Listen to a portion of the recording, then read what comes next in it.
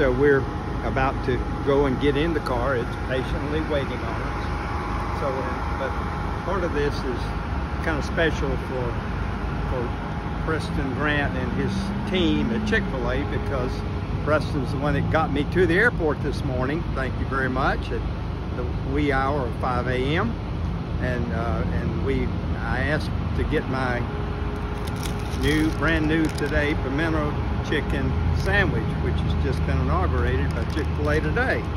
So we're trying to be very, uh, very appropriate with all of that as well as the ride. So let's go get in the car.